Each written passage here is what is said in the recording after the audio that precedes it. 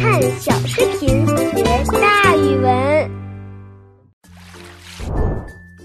爱，爱的古文字最上面的部分“祭”是一个人跪坐着回头的样子。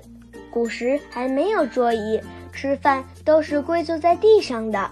在“祭”的下面加上“心”，就构成了爱。